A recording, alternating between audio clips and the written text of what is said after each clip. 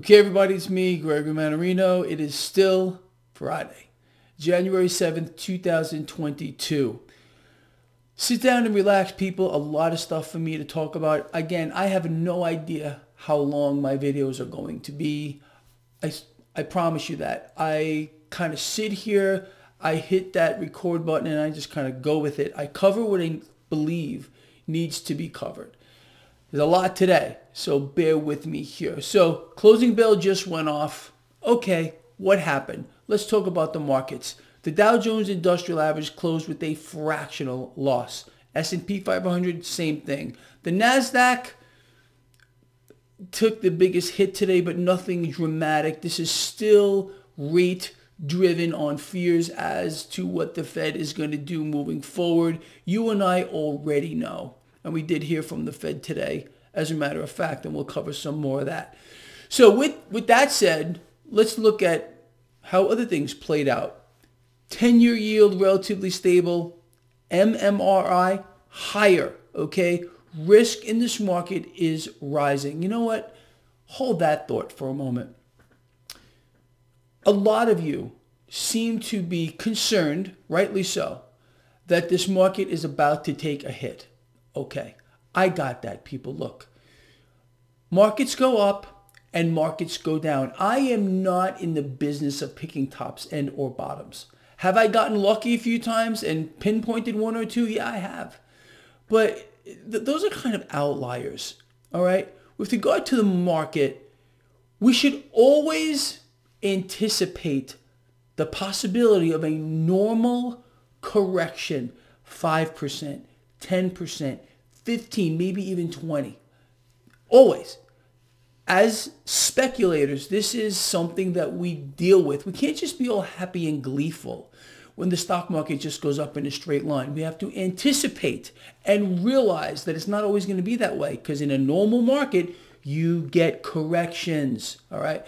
With regard to a crash in the market, people, well, we're going to get one and it's going to be epic, biblical. I, I cover this all the time, but the biggest clue is again, the debt market here. It's not the stock market. The stock market is a derivative as to what's happening in the lovely debt market. So the debt market is going to tell us what's about to happen. Debt being also the dollar, okay? The US dollar is a unit of debt. The dollar or the relative strength of the dollar took a hit today, okay? Hold that thought. I, I want to elaborate a little further. So let's go back here. So 10-year yield relatively stable, MMRI rising, definitely more risk in this market. Should we be concerned? Not overly. Should we expect a possible correction? Maybe. Always, that's the way it is here. Dollar, I told you, weak. Cryptocurrencies still under pressure. Bitcoin around 42,000. Gold and silver did put on slight gains today. All right, people, that's really the setup here for the market. Um, don't get rattled by any of this stuff because if you do, you're going to make bad decisions, people. And my job, sincerely, is to keep you on the right side of the market. So what I want to do, again, I covered a lot of things. Um, I wrote down a lot of things I would like to cover here. Uh, I already talked about the possibility of a correction. It's always there. Always there okay, uh, even in a low risk environment, let's say the MMRI was 50 or 60, does that mean there's no risk?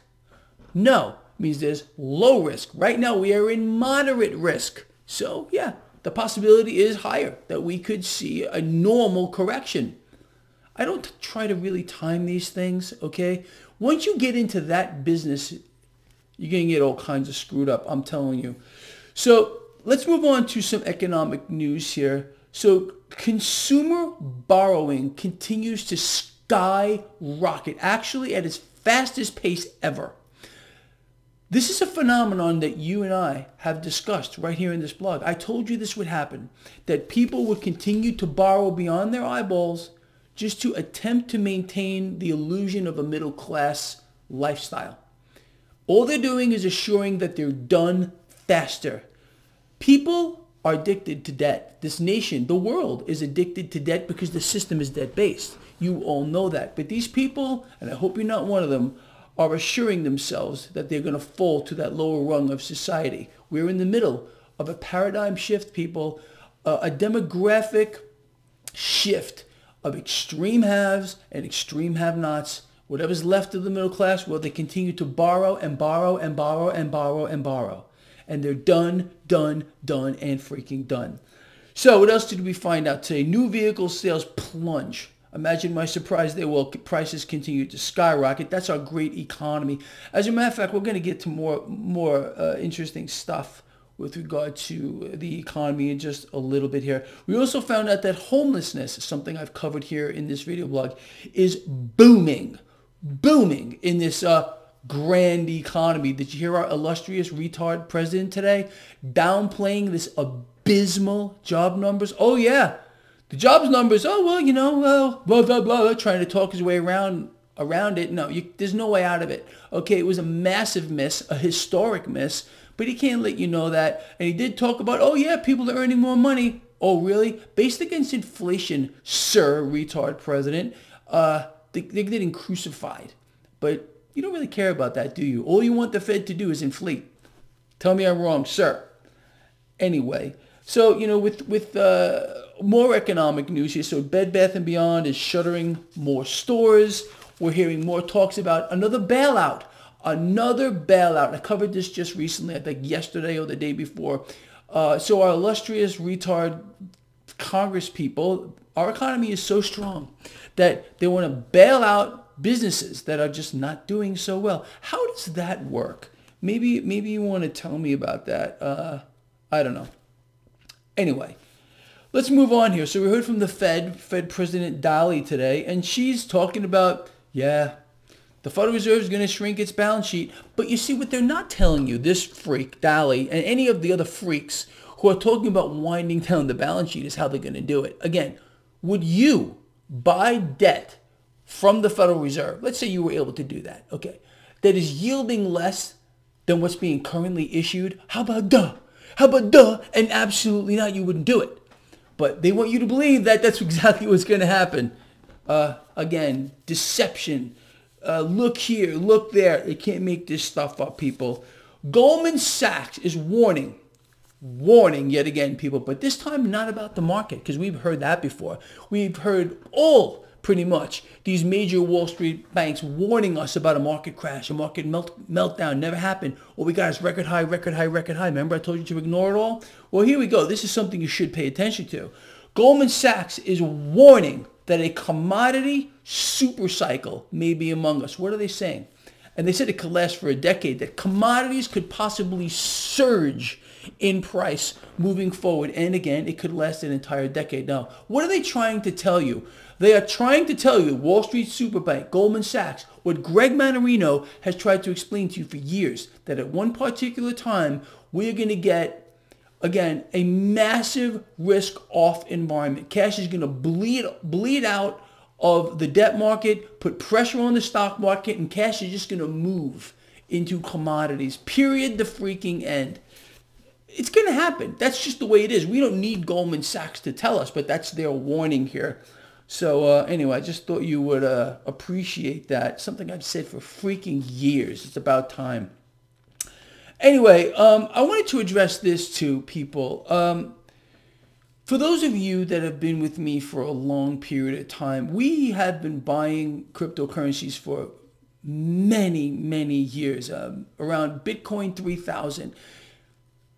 And some of us have done exceedingly well. And what am I trying to say here? We should appreciate that. Um, the fact that, I mean, let's be honest, and I sent this out in a newsletter earlier, some of us, look, I'm not going to, I'm going to admit here that I have made a killing in crypto. Um, a lot of people have. Okay, very nice. Um, but I also wanted to bring something else to your attention. Dash, D-A-S-H. It is the only cryptocurrency I am currently underwater in. I still believe it's a long-term hold. I never said this was a trade. Okay, just like the other cryptocurrencies that we are still in. Have have you heard me tell you to sell this stuff, even though some of us have like retarded uh, profits in it? No, no. I don't have any intention of selling my crypto anytime soon. All right. I own all the big ones. I also own Dash, for which I am underwater in. But in the grand scheme of things, I mean, so freaking what? And um, again, going back to cryptos, we should expect a lot of volatility in 22. Our lovely, beautiful, caring members of Congress, they want to support the B system, so they are trying to pressure crypto. So I would expect to see a lot of volatility this year in 22. Uh, look, we'll keep our eye on it. I don't see a reason at all to dump any of my crypto positions, including Dash, for which, yes, I am still in the water in that one. I mean, come on now. Uh, I, I still believe they're long-term holds. And I won't change my stance on that because, again, in my view, cryptocurrencies, just like physical gold and silver, physical silver, are anti-debt units. At one point, we're going to get a debt market implosion. Listen to Goldman Sachs. They're talking about a commodity supercycle.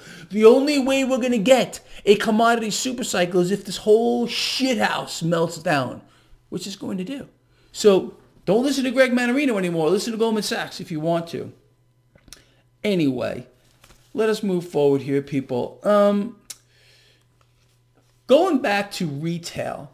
So we're hearing from more retailers who are now stating that they are going to be slashing hours. Think about this. Before I go on, our economy is booming, right? We're doing fantastic and tremendous. Ask our illustrious retard president. He'll tell you.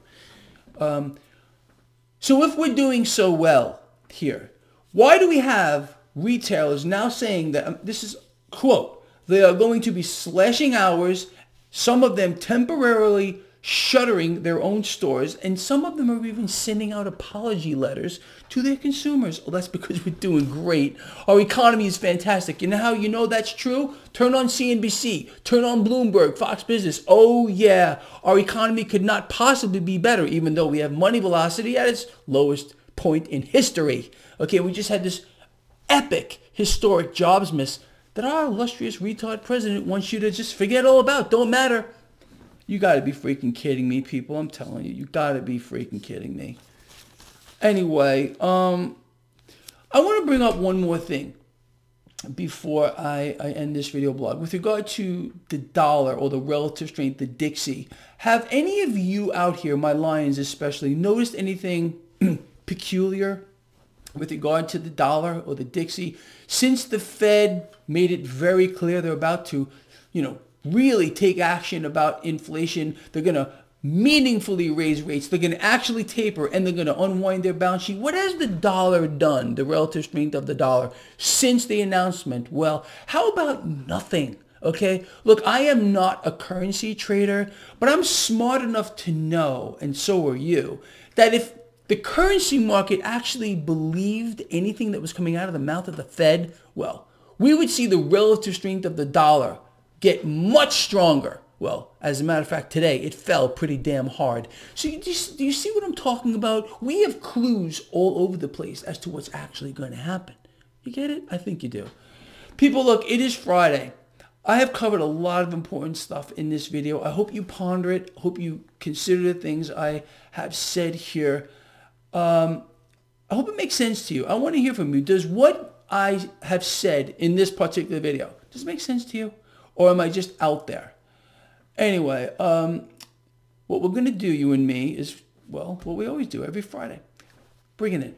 Bring it in. Nobody's looking. People, we have to always remember to love each other, love each other, care about each other, and be charitable. I will see all of you on Sunday for my markets look ahead. Tomorrow, you will hear from the Crypto Kid. I heard from him earlier today. I hope you pay attention to that. Um, that's it, people. Have, have a great rest of your day and tomorrow. And I'm going to miss you. I really will. And again, I do want to hear from you. Please place a comment with what you think about what I covered here in this video. Is, is it off base? Is it on target? What is it? Because I really do care and I want to know. Love you a lot. I'll see you Sunday.